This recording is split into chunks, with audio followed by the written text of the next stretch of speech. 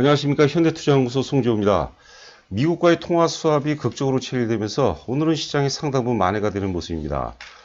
어, 하지만 오늘 상승분은 한국 증시하고 이제 시장 환경이 취약한 그런 국가들의 문제였기 때문에 오늘 상승을 인해서 시장 전반이 추세 상승으로 이어질 가능성은 아무래도 적어 보이고요. 일단은 이번 위기가 금융위기로 이어질 것이라는 공포 심리를 차단했다는 차원에서 의미가 있고 또 해석이 돼야 되지 않을까 생각됩니다. 자, 오늘은 삼성전자에 대해서 살펴보도록 하겠는데요. 어, bottom-up 방식을 적용해서 어, 외국인들이 다시 삼성전자를 매수한다면 시장 전체가 살아날 것이다 라는 주제로 진행해 보도록 하겠습니다. 우리가 주식을 분석할 때 이제 top-down 방식이 있고 이제 bottom-up 방식이 있는데요. top-down 방식은 어, 시장 전체를 분석해서 이제 종목을 우리가 찾아 나가는 추적해 나가는 작업을 의미하고요.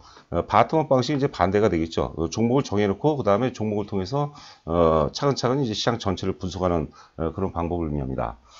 자, 여하튼간에 삼성전자가 살아나야 시장이 산다. 자, 보시는 화면은 이제 한국경제신문 어제자 신문입니다. 그 삼성전자 울면서 파는 외국인들 가장 아픈 손가락부터 판다. 어, 가장 아픈 손가락이라는 것은 가장 아끼는 이제 주식을 또 의미를 한다고 봐야 되겠죠.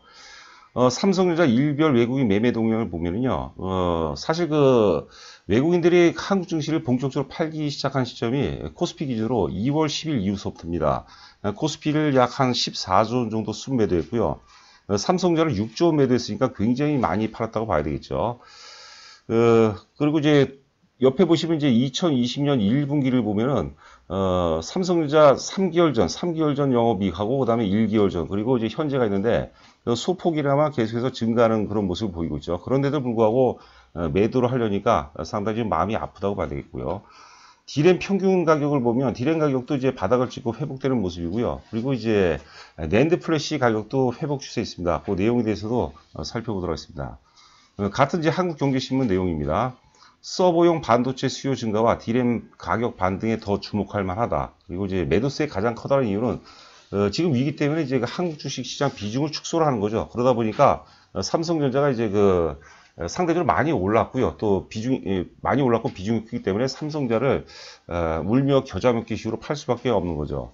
지금 이제 보통주 기준으로 삼성자 외국인 지분이 57.1% 57.1% 정도 되고요. 우선주 같은 경우는 이제 91% 가까이 됩니다. 그러다 보니까 삼성자가 빠져서 가장 그 데미지가 큰 어떤 집단은 외국인이 될 수밖에 없는 거죠. 자, 아래 보시면 이제 한국 주식시장과 아, IT 기업 비중을 줄이려면 불가피한 어, 주, 줄이려면 불가피한 선택이라는 것이죠. 외국인들은 뭐 눈물을 머금고 주식을 팔고 있다 그런 내용이고요. 여하튼 이제 그 지금 위기가 어느 정도 해소가 된다면 어, 해소가 된다면 이제 삼성전자를 어, 살 수밖에 없는 그런 환경이라고 봐야 되겠고요. 많이 팔았기 때문에 또 많이 살 수밖에 없지 않나 이렇게 생각해 봅니다. 자, 보시는 화면은 이제 그 매매 주체별 동향이 되겠는데요. 이거는 제가 유튜브를 통해서 계속해서 추적을 해드렸던 거죠. 일반적으로 이제 매도의 정점, 외국인 매도의 정점 이후 한 8일째 혹은 9일째부터는 순매수 전환하는 게 일반적인데요. 오늘 이제 9일째인데도 불구하고 오늘 5,855억을 순매도했는데요. 저는 개인적으로 오늘 장 초반에 외국인들이 일부 한 200억, 300억 가까이도 어, 순매수 전환됐었는데 이런 분위기라면 최소한 한 2천억대 정도 매도에 그치지 않을까 싶었는데 생각보다는 매도를 많이 한 것 같아요. 오늘 주가는 양시장 모두 크게 폭등을 했지만은 외국인 매매 동향을 보게 돼서는 앞서 제 말씀드린 것 같이 이거를 추세를 반전시키기에는 좀 이제 아직까지는 좀 어려운 그런 상황이 아닌가 싶습니다. 어, 작년 11월 달에 외국인들이 22일 연속 순매도하는 시점이 있어요. 그때 이제 약 한 5조 5천억 순매도했는데 매도의 정점이 이제 그 11월 26일 8,575억을 순매도하고요. 그리고 이제 그 8일째, 8일째 순매수로 전환되면서 주가가 가파르게 상승한 경험이 있어요. 그래서 여하튼 간에 지금 9일째 매도를 하고 있는데요.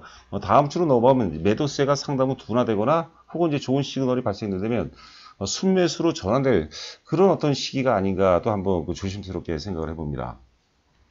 자, 보시는 화면 이제 코스피 종합 주가 지수하고 그다음에 이제 원 달러 환율과 이제 상관관계가 되겠는데요. 일단 600억 어, 달러 이제 통화 수합을 통해서 어, 시장이 이제 많이 이제 개선이 되고 있고요. 어제 10시경 정도에 이제 10시경 정도에 이제 체결이 됐다고 그러는데 굉장히 극적인 그런 상황이 아니었나 싶습니다. 어, 과거에 보시면 과거에 이제 2008년도 금융위기 당시에 2008년도 정확히 10월 달에 이제 그 통화 수합이 통화 수합이 체결이 됐는데요. 어, 당시에는 이제 그 300억 달러라고 하죠. 통화 수합 개최 직후서부터 주가는 급등을 하고 물론 이제 그한 수개월 정도 옆으로 횡보를 하다가 급등을 하고 그다음에 환율은 이제 방향을 완전히 꺾어버리죠. 당시 이제 원 달러 환율이 어, 제가 계산해 보니까 장중 10월 달입니다. 2008년도 10월 달 최고점이 어, 달러당 1,470원에서 어, 최저가가 이제 1,246원이니까 대략 한 220, 224원이 되겠네. 224원 이제 그 환율이 폭락을 한 거죠. 원화가 강세를 보인 거죠. 전체적으로 봐서는 하여튼 그 에, 2008년도 금융위기 당시하고 좀 상황이 틀리죠. 이번에 이제 그 이유가 달리 있죠. 여하튼 간에 현 사태로 인해서 경기가 위축이 되고 이게 이제 금융위기로 넘어갈 가능성이 있지 않나. 이런 어떤 그 공포심이 이런 것들을 상당 부분 차단하는데 그 굉장히 그 방점을 우리가 둬야 되지 않을까 생각됩니다. 자, 보시는 화면이 이제 그 삼성전자 주가인데요. 어, 정확히 이제 화살표 출발점에서부터 이제 외국인 매도가 집중이 됐습니다. 코스피 시장을 이제 14조 원 순매도를 하고 어, 삼성전자를 6조 원 매도했으니까 워낙 많이 팔고 여기서 추가적으로 우리가 좀 길게 놓고 본다면 추가적으로 어, 크게 팔기보다는 이제는 순매수 전환 시점에 좀 서서히 좀 다가오지 않을까. 시간은 어, 좀그 긍정적인 긍정이었던 편이 아닌가도 한번 생각을 해봅니다. 자, 보시면 화면에 이제 원 달러 환율이고요. 아래는 이제 삼성전자, 원 달러 환율과 이제 삼성전자의 관계를 한번 살펴보도록 하죠. 먼저 이제 어제죠. 어제 그, 그 달러당 원화 환율이 1296원까지 급등을, 폭등을 했죠. 폭등을. 폭등을 했는데, 고점 대비 좀 밀리긴 했지만요. 그, 나름대로 어떤 그 최악의 시점이죠. 최악의 어떤 그 매도의 절정 구간, 매도의 절정 구간을 보면서 그런 구간에서 보통 이제 상투를 찍는 경우가 많아요. 물론 이제, 아, 아직까지 여진이 부분 많이 남아 있습니다. 여하튼간에 달러당 1296원이 상당 부분 저항 역할을 할 가능성이 있고요. 어, 저항 역할을 해준다면 이것도 외국인들이 이제는 그동안 이제 순매도에서 순매수로 전환, 순매수로 이제 전환할 수 있는 어떤 그 좋은 계기, 환경이 될 수 있지 않을까 생각됩니다. 항상 그 자금 시장의 메커니즘을 보면 외환 시장이 가장 상위라고 해서 외환 시장, 채권 시장, 주식 시장, 원자재 시장, 그다음에 뭐 부동산 시장 이렇게 생각하시면 될 것 같은데요. 어, 주식 시장은 역시 그 외환 시장에 영향을 많이 받기 때문에 에, 앞서 말씀드린 바와 같이 1296원에서 강한 저항을 유지를 해준다면 외국인들이 순매수로 전환할 수 있는 그런 좋은 환경이 아닌가 생각됩니다. 자, 그리고 이제 외환시장과 이제 그, 그 삼성전자 비교를 한다면 외환시장 대비해서 삼성전자가 굉장히 강한 상, 강세를 보였고요. 오를 때는 또, 어, 조종기에는 나름대로 견주한 그런 모습이었어요.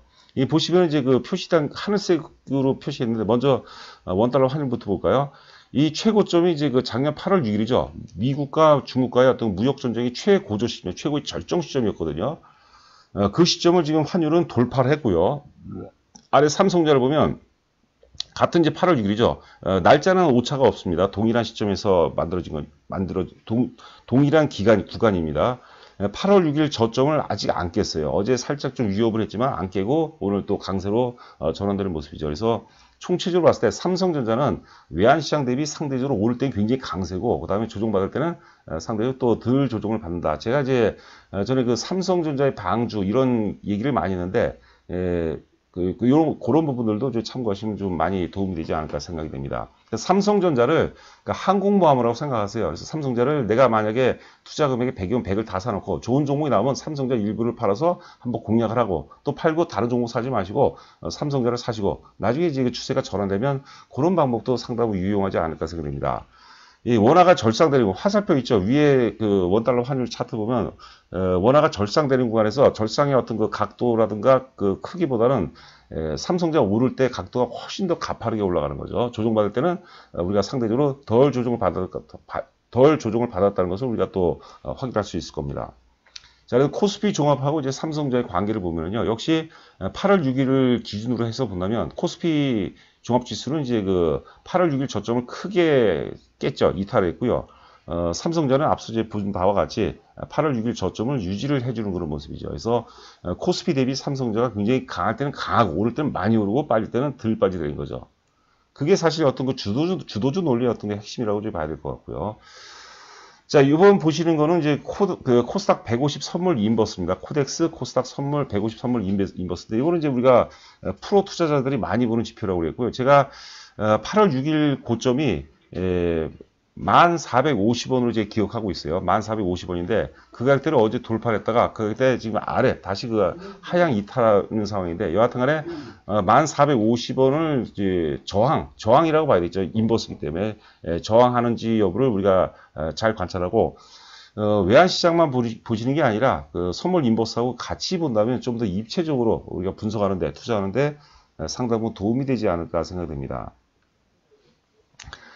자, 보시는 화면은 이제 그 KB증권 보고서입니다. 어제 나온 거죠. 오늘 나온 보고서는 없, 없었던 것 같아요. 한 4개 정도 증권 사건을 한번 보도록 하겠습니다. 간단하게 에, 영업이익 기준으로만 보도록 할게요. 이 타이틀 보면 이제 서버 수요가 에, 지금 환경 속에서 재테크모도 많이 하고 또, 어, 그, 뭡니까, 그, 그 업체 관련 어떤 거 업체들 우리가 보통 일반적으로 이제 팸리스 업체들이 이제 투자를 많이 한다고 그런 소식들이 많이 들리죠. 어, 서버 수요가 증가하고 그다음에 이제 분명한 기회 요인이 될 것이다라고 그런 주제로 이제 그 KB증권은 보고서입니다. 영업이익 기준으로 본다면 이제 2018년도 이제 58조 58조 9천억이었고 작년에 28조 7천억인데 영업이익이 반토막 났는데도 불구하고 역사적 고점을 돌파했다는 것은 대단한 의미죠. 그 많은 상상력들이 지금 상상력이 여러분들 거품하고는 우리가 좀 별개로 봐야 될 것 같아요. 어차피 주식이라는 것은 선행 지표이고 미래 가치의 그 반영이라고 보는 거거든요. 그 미래 가치를 굉장히 그 현실적으로 반영하고 있는 그 과정이라고 보시면 될 것 같아요. 여하튼 간에 그 2018년도 영업이익에 반토막도 안 되는데도 불구하고 역사적 고점을 돌파했다는 것은 대단한 거죠. 제가 유튜브 방송을 통해서 이게 바로 이제 주식의 미학이다 그런 일 말씀을 많이 드렸거든요. 그 KB증권에서는 이제 올해죠. 올해 예상 영업이익을 이제 37조, 37조 4천억 정도를 지금 전망하고 있는데 뭐 이 정도만 되더라도 주가는 뭐 어, 충분히 오를 수 있는 환경이고 또 삼성전자를 외국인들이 살 수 있는 어, 그 어떤 중요한 어떤 이슈라고 봐야 될 것 같습니다. 자, 이번에 이제 그 한국투자증권인데 앞에 이제 밑줄 부분서부터 보도록 하죠. 지금 이제 매크로가 상당히 불안하죠. 매크로가 이제 매크로 불안으로 공급업체들의 설비 투자 계획도 더 보수적으로 변하고 있어서 메모리 수급 균형은 유지될 것이다. 공급을 이제 축소하거나 확대하지 않기 때문에 이제 가격대가 가격대가 안정적으로 유지될 것이라는 얘기죠. 굉장히 의미가 있는 얘기죠. 아, 또 이제 한국투자증권이 재미있는 거는 뭐냐면 2018년도 58조 한 9천억이었고 어, 작, 어, 작년이죠 2019년도 27조 7천억이었는데 에, 올해 예상 영업이익을 이제 39조 정도로 보고 있고요. 그 다음에 내년도 2021년도는 60억을 넘게 잡았어요. 어, 최근에 나온 보고서 중에서는 한국투자증권이 예, 가장 높게 잡은 것 같아요. 저희가 어, 전에 이제 요번에 이제 이렇게 그 급락 사태 전에 삼성자의 영업이익이 내년도 한 55조 정도를 찍는다면 보통 주 기준으로 10만 원 정도는 무난하게 넘어갈 것이라고 제가 강조를 많이 해드렸거든요. 하여튼 우리가 계속해서 어, 추적을 해보도록 하겠습니다. 자, 보시는 화면 이제 DB증권인데요. 뭐 비슷한 내용입니다. 어, 반면 메모리 업체들은 글로벌 불확실성 확대 우려감에 투자를 더욱 조심스럽게 진행해서 공급 과잉에 철저하게 대비할 것이다. 공급 과잉에 대비한다는 것은 결국은 가격은 안정적으로 유지가 된다고 보는 거죠. 또한 사회적 거리두기 등 문화의 변화에 따른 컨텐츠 수요 증가 등은 데이터 센터 및 AI 등으로 대표되는 4차 산업혁명을 촉진시킬 것이다. 앞서 한 얘기입니다. 그거로 해서 이제 그 다른 어떤 그 자동차라든가 뭐 조선이라든가 뭐 이런 거에 비해서는 상대적으로 안정적인 어떤 그 실적을 유지할 것이라는 얘기죠. 자, 올해 예상 영업을 이제 DB증권에서는 이제 38조 9천원까지 잡았네요. 그리고 어, 내년도는 조금 박하게 잡았습니다. 한 51조인데, 뭐 50조가, 50조가 넘는다 하더라도 주가는 역시 그 상승 가능성이 높아 보이고, 그게 또 외국인들 어떤 순매수의 어떤 결정적인 계기가 될 수 있지 않을까 생각해 봅니다. 자, 그리고 이제 SK증권인데요. SK증권 제목 보니까, 그, 이번 현 사태가 지나가면 세상은 크게 변할 것, 이런 주제고요. 밑에 그 밑줄 친 부분은 최악의 시나리오를 가정해도 실적 개선은 2021년까지 이어질 것이다. 제가 보기에는 2023년 정도가 실적의 최절정일 가능성이 굉장히 높다고 봅니다. 이번 사태가 잘 이제 조기에 마무리가 된다면 2023년 정도면 영업이익 우리가 100조 원 정도 때도 우리가 전망할 필요가 있다는 거죠. 그 이유는 당연히 이제 비메모리 어떤 성장성이라고 보는 거고요. 자, 영업이익, 영업이익 보면 이제 올해 예상 영업이익 이제 37조 4천억 잡고 2021년도 이제 51조 정도 잡은 것 같아요. 자, 있는 것은 아무것도 벌 게 없으며 없어도 좋을 것은 하나도 없다. 이게 이제 그 니체가 한 얘기죠. 이 짜라투스트라는 이렇게 말할 때 나오는 글귀인데요. 제가 가장 좋아하는 말 중에 하나입니다. 그뭐 디오니소스죠. 긍정의 철학이라고도 얘기하는데요. 뭐 어려운 시기죠. 뭐 저도 굉장히 뭐 힘들고 어제 같은 건 많이 이제 고통스럽더라고요. 어제 또 그 개인적으로 폭음을 해서 오늘 컨디션 상태도 안, 안 좋은데요. 여하튼 이럴 때일수록 서로 서로의 어떤 소중함을 알고 또 함께 위로가 됐으면 어, 많이 도움이 되지 않을까 싶어요. 주식시장 자체로만 보면 굉장히 괴로운데 직원들하고 또 뭉쳐서 얘기하다 보면은 또 많이 그 스트레스 좀 풀린 것 같습니다. 여하튼 간에 그 건승하시 바라고 그 한 주간 너무나도 고생이 좀 많으셨던 것 같아요. 자, 오늘 방송 마치도록 하겠습니다. 감사합니다.